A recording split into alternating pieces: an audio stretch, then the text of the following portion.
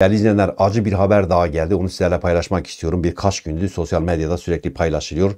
Batman'da 26 yaşındaki Rojvelat Kızmaz. Bu dil meselesini birazdan açacağım. Rojvelat Kızmaz maalesef Hasankeyf Barajı'nda cansız bedeni bulundu.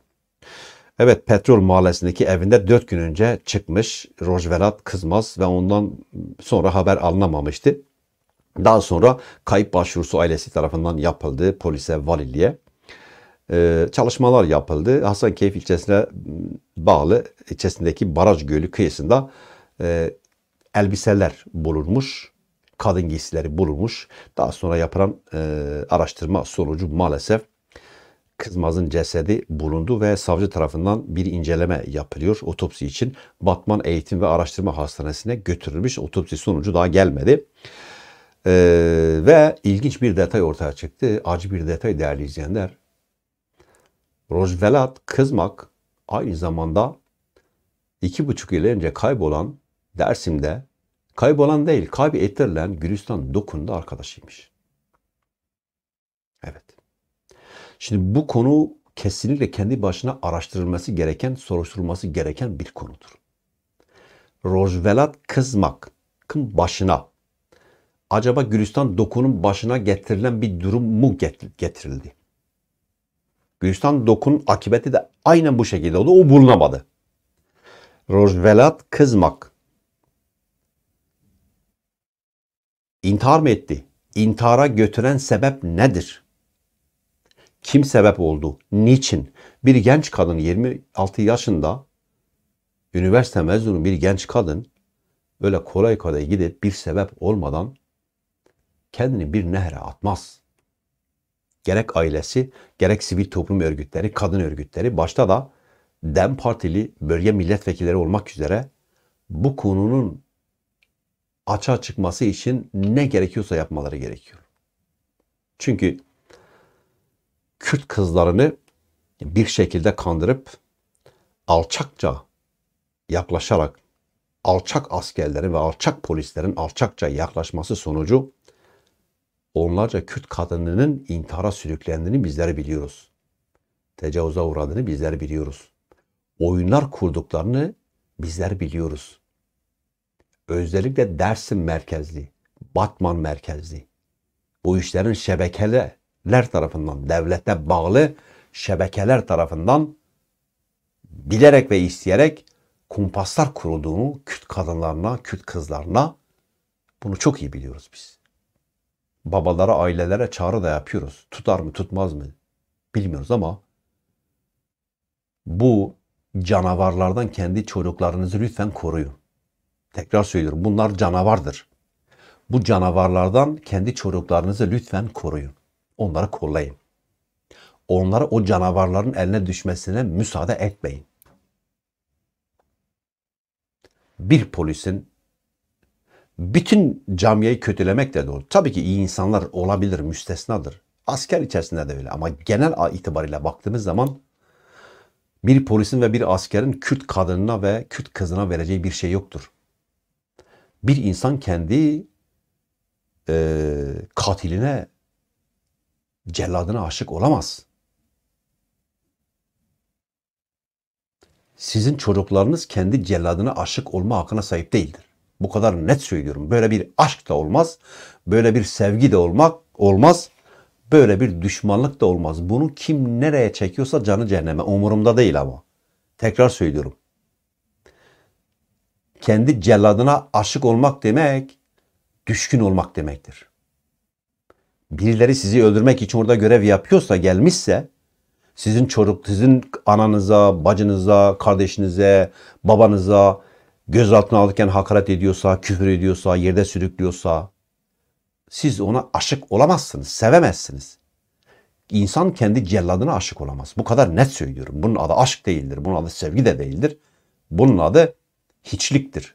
Kendi çocuklarınıza, gençlerinize o yüzden sahip çıkın, hiçleştirmeyin. Tekrar söylüyorum. İyi insanları, güzel, naif, iyi niyetli insanları biz bu işin dışında zaten tutuyoruz. Ama o toplumun geneline baktığımız zaman oraya gönderilen insanların genel yapısına baktığımız zaman Kürde düşman olan insanları özellikle seçip o bölgelere gönderiyorlar. Merhameti olmayan, inancı olmayan, Kürt'ü öldürmekten, Kürt'ü taciz etmekten, Kürt'e tecavüz etmekten zevk alan güruhları seçip o bölgeye gönderdikleri için söylüyorum. Kendi celladınıza aşık olmayın, sevmeyin, değer vermeyin.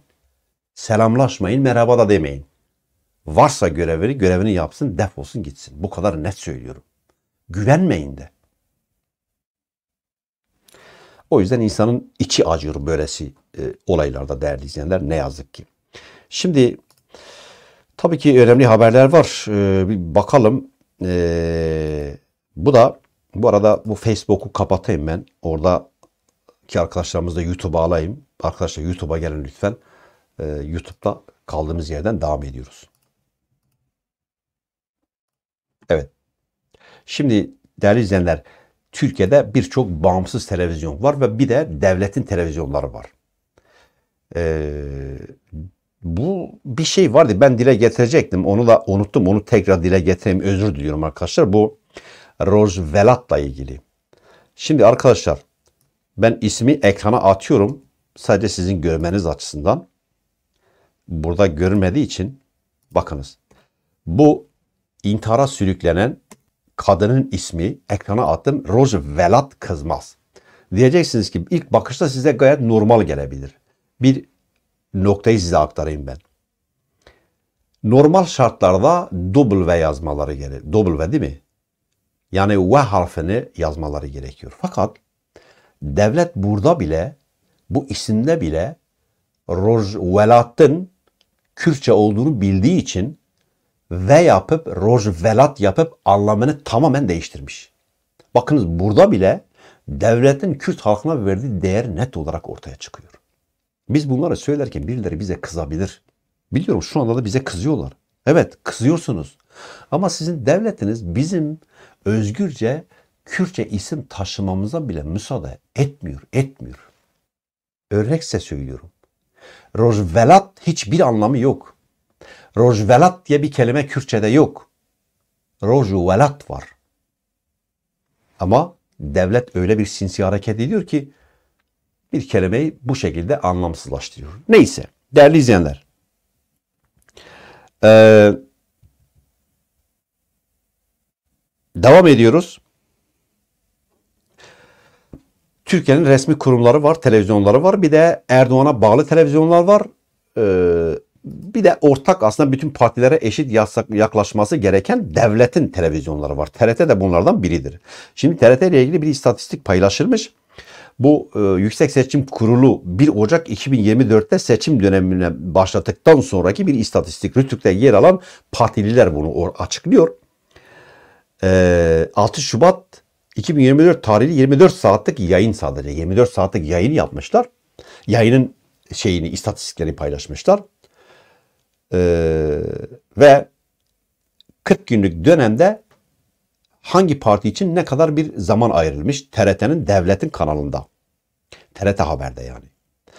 Erdoğan ile AKP'li yöneticilerin aday tanıtım toplantıları dahil değişik propaganda yaptıkları konuşmalar 1945 dakika olarak canlı yayınlamışlar. Haberden bahsetmiyoruz canlı olarak 1945 dakika onlar AKP ile ilgili yayınlar yapmış TRT. Ve aynı dönemde CHP ile ilgili 25 dakika yayın yapmış. 1945 dakika AKP için devletin televizyonu, CHP ana muhalefet partisi, Türkiye'nin ikinci partisi için de 25 dakika yayın yapmışlar. Peki ya DEM Parti için? 0 dakika. Kimden parti? Türkiye'nin üçüncü ve mecliste grubu bulunan Türkiye'nin üçüncü büyük partisi değil mi? İşte devletin imkanlarını kullanmak, insanlara ulaşmak budur. Devletin bütün imkanlarını, devletin bütün elindeki imkanlarını bu iktidar kendisi için kullanıyor ve bu da net olarak bir örnektir. Bir de çıkıp kimse demesin efendim eşit koşullarda seçime gidiyor. Efendim böyle bir şey yok. Dem Parti'nin ismini TRT'de kimse duymaz arkadaşlar. Onların toplantı yaptığını, onların adaylarını, onların ne yaptığını Türkiye'deki vatandaşlar, TRT'yi izleyen vatandaş duymuyor. Kim duyuyor? Ben söyleyeyim size.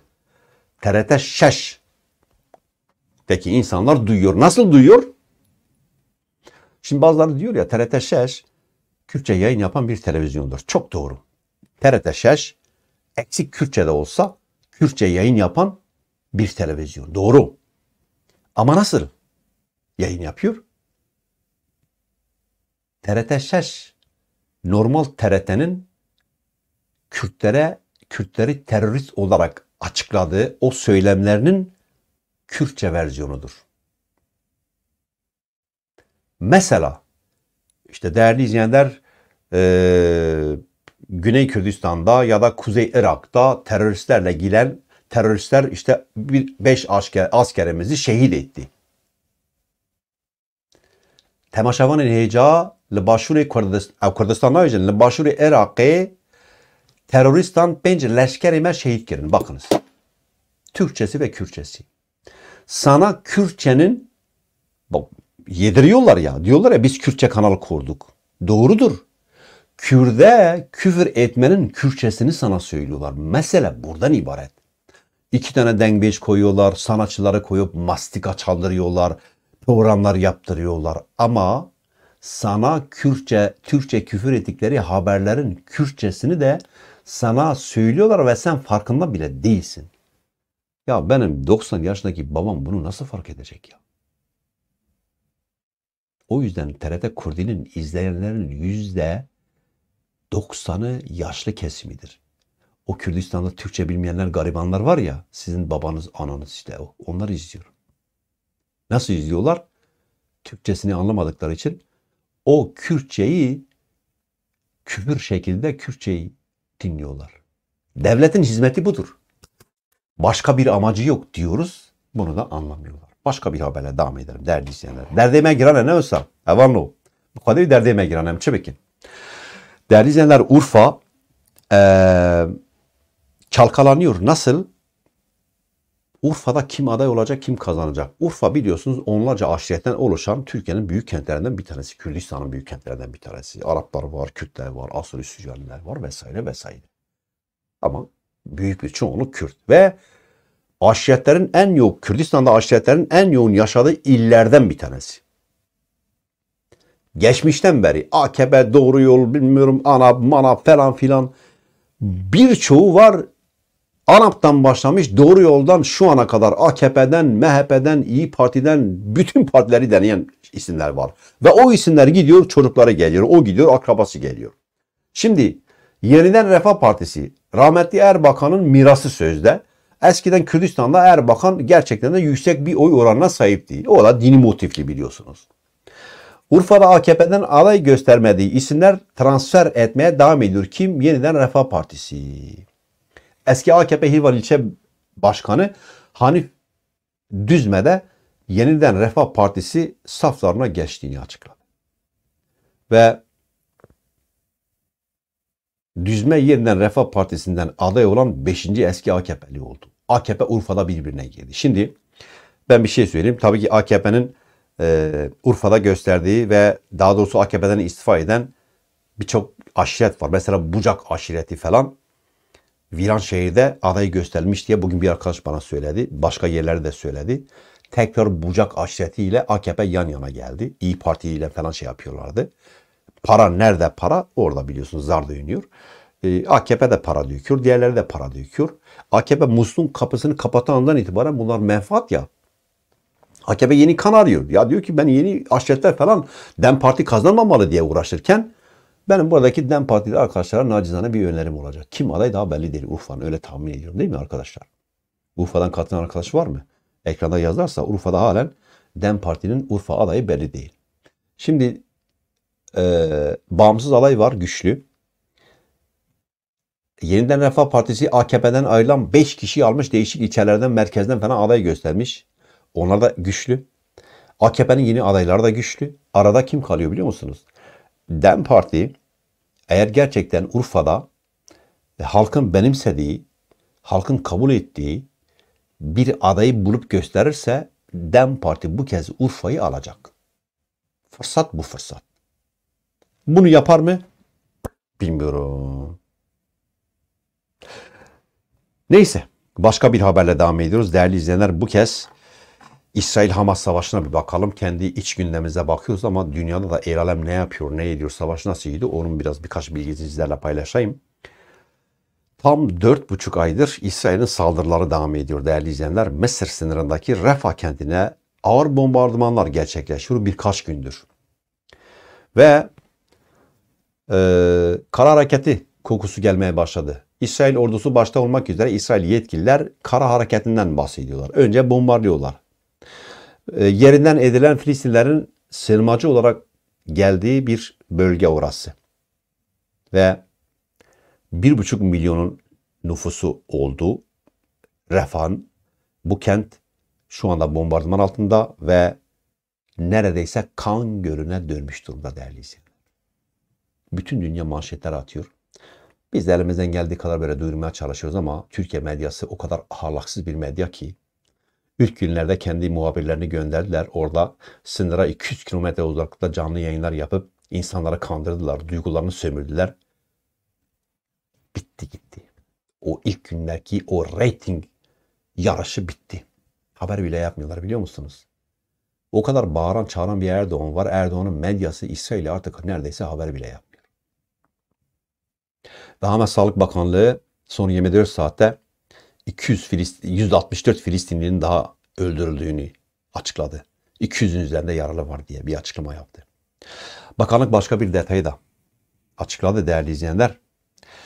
Ee, 7 Ekim'den beri ölenlerin sayısı 28.340'a çıktı.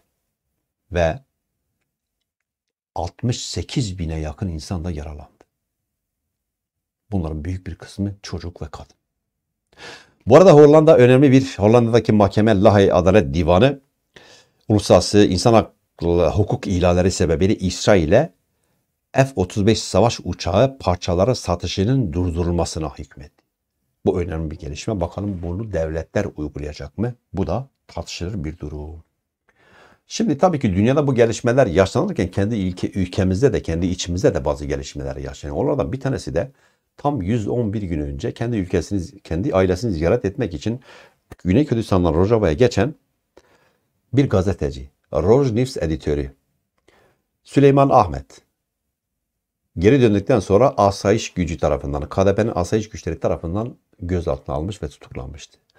Değerli izleyenler, bütün basın kurumlarının çağrısına rağmen, sivil toplum örgütleri, avukatları, ailesinin bütün gidişimlerine rağmen tam 111 gündür Süleyman Ahmet'le ilgili herhangi bir gelişme yok. Öldü mü, kaldı mı, yaşıyor mu kimse bilmiyor ve KDP asayıcı bu konuda sessiz. Ben açık söyleyeyim Süleyman Ahmet'i bunlar öldürmüş olabilir. Ya işkence ya bir şey var yani 111 gün bir insanın bu şekilde hani kaçırıp bütün kamuoyunun bildiği, tanıdığı bir insanı kaçırıp bu şekilde gizli tutmak ne anlama geliyor? Umarım kendisine bir şey olmamıştır ve KDP mutlaka bu konuda uluslararası baskılar atmalı. Kardeşim siz ceza veriyorsunuz verin. İdamı veriyorsunuz verin. Yargılıyorsunuz adamın suçu varsa tamam okey de bir açıklama yapmak zorundasınız yani. Nerede? Yok cevap yok. Salih Müslim bugün bir röportaj verdi. ANF'ye konuştu. O da yine Öcalan üzerindeki tercihde değindi. Öcalan'ın Rojava üzerindeki etkisi, Rojava'ya e, ta Rojava'ya ilişkin önceki önceki öngörülerini falan paylaştıktan sonra dedi ki Sayın Öcalan özgür olmadan yaptığımız her şey eksik kalır. Hem Rojava açısından hem Kürdistan'ın diğer parçaları açısından değerli izleyenler. Şimdi Güney Kürdistan'da Amerika Birleşik Devletleri herhalde dünyanın e, en büyük şeyini yapmış. Ben bu habere geçmeden önce e, bir tecrit haberi daha var. O da 78 gün önce Türkiye'deki cezaevlerinde Öcalan'ın üzerindeki tecridin kaldırılmasına yönelik bir açlık grevi başlatılmıştı. Ve bu açlık grevi tam 78. günde halen devam ediyor. Ee, Antalya ve Erzurum'da açlık grevleri ne katılan tutsaklara yönelik bir saldırı haberi geldi. Ve kelepçeli muayene dayatmasını kabul etmedikleri için de kendilerine işkence yapıldığına yönelik ailelerine bilgi vermişler. Onu da söyleyelim. söyleyelim. Bir çatışma haberi de var. O da e, Mardin'de birkaç gün önce Bagok Dağı'nda bir e, operasyon başlatılmıştı. Binlerce kişi asker katılmıştı biliyorsunuz. Helikopterlerle bombardımanlar gerçekleştirmişti. Ve şiddetli çatışmalar meydana geldi. Bilgileri geliyor. Mezopotamya Haber Ajansı çatışmada en az 5 askerin helikopterlerle Mardin'deki devlet hastanesine getirildiğini e, açıkladı. Ve yaralı askerlerden birkaçının da durumunun çok ağır olduğu o yerel bilgiler, e, kaynaklar o bilgiyi aktarmış. Milli Savunma Bakanlığı sanırsam bilmiyorum son bir saattir haberim yok. Yeni açıklama olmuşsa arkadaşlar ekleyebilir e, katkı olarak. Milli Savunma Bakanlığı'ndan henüz bir açıklama yok.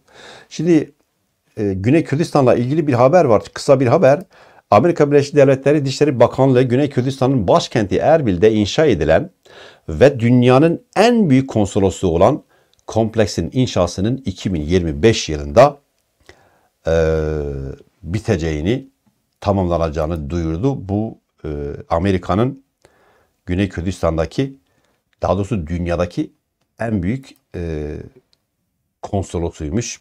İlginç bir haber. E, Kamışlı'ya bir saldırı gerçekleştirildi. Bu sabah saatlerinde YPC Genel Komutanlığı'na Türk Devleti'nin Rojava Gazi Federasyonu binasına yönelik e, gerçekleştirilen bu siyah saldırısında Sorhun Rojalat ve Azadi Derek'in e, kat edildiği açıklandı. Ve bir intikam yemini de etti. YPJ komutanlığı intikamlarını mutlaka alacağız diye bir açıklama yaptılar. Değerli izleyenler özel yönetiminden de bir açıklama geldi. Bu saldırıya ilişkin şu cümleler kullanıldı. Türk Devleti'nin yaralı ve Gazilere yönelik saldırısı DAEŞ'e ve ortaklarına açık bir mesajdır. Bu aynı zamanda Türkiye'nin DAEŞ'in yeniden canlanmasını ve hücrelerini desteklediğinin de güçlü bir kanıtıdır diye bir açıklama yaptılar. Şimdi Mazlum Ebdi'nin bir açıklaması var değerli izleyenler onunla devam edelim. Ondan sonra bu savaş ilanına geçeceğiz. ABD'den Esad rejimi ile iletişim kanallarının açılması yönünde tavsiye aldık. Ne anlama geliyor bu? Mazlum Ebdi'nin bu açıklaması. Yani ABD bize dedi ki Suriye ile görüşün. Yani normalde Suriye hükümetini kabul etmeyen bir Amerika var. Peki Amerika neden e, Demokratik Suriye güçlerinin Suriye ile görüşüp anlaşmalarını istiyor? Bunu bilmiyoruz. Mazlum Ebdi Şarkul Afsa'da çok geniş bir röportaj verdi değerli izleyenler. Son birkaç ayın özeti merak edilen bütün soruları da yanıtladı birkaç başlık. Washington'dan e, Ankara'ya satmayı kabul ettikleri F-16 savaş uçaklarının kendi kuvvetlerine karşı kullanılmayacağına dair garanti aldık dedi. Şimdi bu geçtiğimiz günlerde Amerikalı bir senatörün de açıklamasıydı. Ryan'dı sanırsam. Onun açıklamasına göre biz bir şartla vereceğiz. O uçaklar Rojava'daki Kürtlere karşı kullanılmasın diye. Bu arada bu senatoda uçakların Türkiye verilmesine karşı yapılan oylamada karşı çıkan olmamış onu da söyleyeyim size. Ama belli şartları var. Ee, burada Mazlum Ebdi ilk ağızda F-16'ların kendilerine karşı kullanılmayacağı taahhüdünü almış Amerika'da. Garantisi daha doğrusu. Taahhütten ziyade onun garantisini aldık diye bir açıklama yaptı. Yine diyor ki son dönemde bölgeye yönelik saldırılar bir tek Türk saldırıları değil. Bu da önemli bir gelişme. Çünkü e, son birkaç gündeki saldırılarda onlarca neredeyse YPG ya da Demokratik Suriye Güçleri üyesi yaşamını yitirmiş durumda. Bunların bir kısmı da yine İran'a bağlı milisler tarafından gerçekleştirildiğini biz biliyoruz ve Mazlum Abi de oraya vurgu yapıyor. Yani sadece DAEŞ değil aynı zamanda hem Suriye rejimi hem de İran'a bağlı milisler bu işin içerisinde. Çünkü Amerika ile yan yana olan Demokratik Suriye güçleriyle Amerika askerleri arasında ayrım yapmıyorlar. Vuruyorlar hepsini sihalarla vesaire, dronelarla.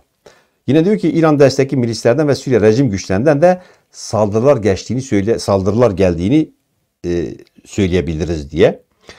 E, İranlı milisler saldırılarında Demokratik Suriye Genel Komutanlığı ile koalisyon güçleri arasında ayrım yapmıyor diye. ABD'nin Suriye'den çekilmesi söz konusu değil. Bu ABD'li yetkililerle defalarca konuştuk. Şu anda öyle bir şey gündemde yok diyor. Ne şimdi ne de yakın gelecekte Suriye'den çekilme olmayacağına dair güçlü ABD güven, e, güvencelerini aldık dedi. E, geniş bir röportaj paylaştı. Şimdi değerli izleyenler Almanya Genel Kom Genelkurmay Başkanı'nın bir açıklaması var. Onu sizlerle paylaşayım. Ee, Almanya Genelkurmay Başkanı Karsten Brauer ülkesinin 5 yıl içinde savaşa hazır hale gelmesini istedi. Bravo dedi ki ancak sonsuz zamanımız yok. Çünkü Soğuk Savaş'ın sona ermesinden bu yana ilk kez olası bir savaş dışarıdan bize dikte ediliyor dedi.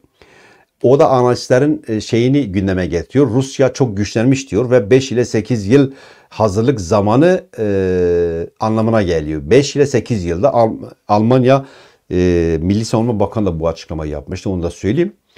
Ve diyor ki ancak bu mümkün ve ben bir asker olduğum için 5 yıl içinde savaşa hazır hale gelmemiz gerektiğini söylüyorum. Valla zaten Alman halkı savaşlardan çok korkuyor değerli izleyenler. Bu açıklama Almanya'da çok farklı şeylere sebep olabilir diyeyim. Bu arada bekleyin biraz günün videosu var. Özellikle bekleyin bir MHP'nin milletvekili e, Kürt halkı yok diye, Kürtler Türktür diye bir açıklama yapmıştı ya. Onu ben izleteceğim. Onun üzerine bir yorum yapacağım. O yüzden yayından lütfen ayrılmayın. Şimdi gelelim şeye. Gelelim savaşa hazır olma açıklaması. Suriye ile İran en üst düzeyde görüştüler. Dışişleri Bakanlığı bakanlara açıklama yaptı ve bu flash haberi olarak bütün ajanslara geçti değerli izleyenler. Türkiye hariç bütün ajanslar flash dakika, son dakika haberi olarak geçti bunu. Türkiye Dışişleri Bakanı Faysal Miktat, İsrail'e olası bir çatışmaya ve topraklarını korumaya hazır olduklarını açıkladı. Miktat İranlı mevkidaşı Hüseyin Emirabullahyan'la pazar günü Şam'da görüştü. İki bakan görüşmede Filistin'e verilecek destek konusunda atılacak adımları da masaya yatırmış. İkili görüşme sonrası basın mensuplarının sorularını yanıtladılar. Dışişleri Bakanları İsrail'e e, Suriye'nin 1948'den bu yana İsrail'e direndiğini açıkladı. Ve Miktat, Suriye Dışişleri Bakanı dedi ki Suriye İsrail işgaline karşı yıllarca savaştı ve yine savaşmaya hazırız. Ancak zamanına ve şekline biz karar vereceğiz diye konuştu. 1967'den bu yana İsrail işgal altında olan Golan tepelerine dikkat çekti. Suriye Dışişleri Bakanı bölgedeki işgali sonlandırmanın en önemli önceliklerinden biri olduğunu belirtti ve Suriye bu kurtarma operasyonlarının bedelini ödemeye hazırdır dedi. Ve ülkedeki ABD ve Türkiye askerlerinin varlığının gayrimeşru olduğunu açıkladı ve bunun sona ermesi gerektiğini de açıkladı. Aktardı. Şimdi Türkiye sürekli sizin burada bulunmaz gayrimeşrudur falan diyorlar. Amerika'ya da diyorlar. Ama oysa ki Amerika'nın çekilmesi DAEŞ'in yeniden hortlanması demek. DAEŞ'in yeniden hortlanması demek Suriye rejiminin tehlikeye girmesi demek olduğunu herhalde bilmiyorlar ya da bunu Rusya ve Amerika, e, İran istemiyor diye bunlar da baskı yapıyor. İran Dışişleri Bakanı em, Emirabullahiyan da yasa dışı şekilde Suriye'de bulunan yabancı askerlerin ülkeden çekilmesi gerektiğini ifade etti. Sanki babasının ülkesiymiş gibi.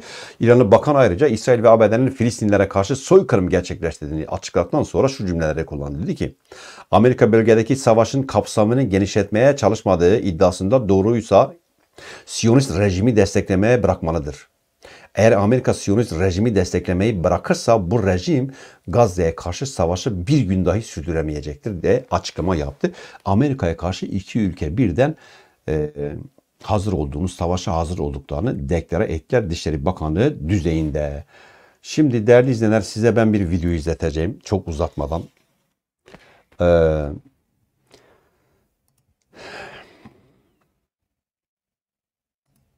Evet, çok uzatmadan bu videoyu size izleteyim. İbreti alemlik bir video.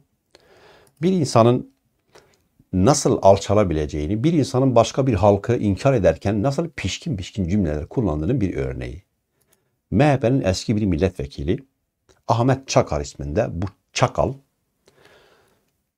diyor ki Kürt halkı diye bir halkı yok. Kürtler öz be öz Türk çocuklarıdır diye bu devşirme Bakınız ne söylüyor. Size izleteyim bir iki yorum yapacağım. O bölgede yaşayan öz be öz Türk çocuğu olan Kürt kökenli, Kürtçe konuşan kardeşlerimiz var. O Kürtçenin içinde 5000 tane Türkçe kelime var. Biraz evvel ifade ederken de e, karşı çıktı. Latif Bey'in de ifadesinde bile ağzına yapıştı. Kürt halkı diye bir halk yok kardeşim. Kürtler Türk milletinin ayrılmaz bir parçası. Öz öz Türk çocuklarıdır. Bir kere ayrı bir Kürt, farklı bir halk yok. Bir kere bunu yapmak namussuzluktur. Kürtleri bizden ayırmak kardeşliktir, şerefsizliktir. Hukuka uygun değil, sosyolojiye uygun değil, psikolojiye uygun değil, tarihi gerçeklere uygun değil. Nasıl oluyor da Kürt halkı diye gibi haktan bahsedilebilir? Diyor ki kökendir. Yani Kürt diye bir şey yok, bir halk yok. Ee, Kürt halkı diye bir halk yok. Bunu yapan namussuzdur. Yani ben Kürdüm diyen ya da işte falan namussuzdur. Biz de o zaman bu Hasan Ahmet Çakar'a bu çakma MHP'liye şunu söyleyelim yani namussuz senin 7777 süralendir. Ahmet Çakar.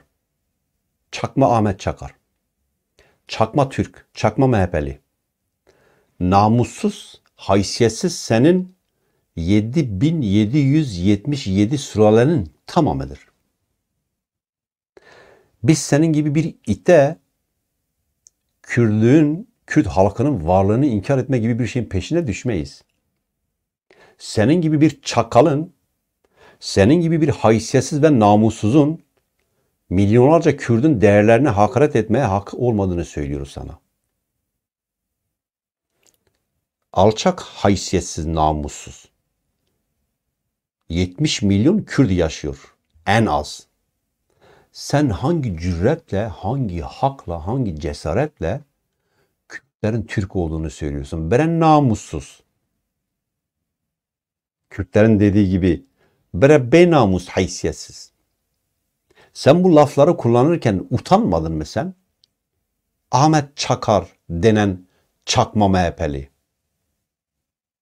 Oğlum, oğlum bak tekrar söylüyorum. Senin gibi namussuzlara, senin gibi haremzedelere bizim kendi kimliğimizi ispat etme gibi bir durumumuz söz konusu değil zaten. Sen daha bu topraklara senin 7770 süralen bu topraklara gelmezken biz bu topraklardaydık. Biz bu toprakların sahibiyiz. Çakma. Beynamus. O yüzden ağzımı bozup bu adama ağız dolusu küfür de edebilirdim. Ama ben şunu şuna inanıyorum ki Kürt halkını inkar edene Kürt halkı işte ne bir şey demiyorum, bir şey demiyorum ben. Valla bir şey demiyorum, bir şey demiyorum.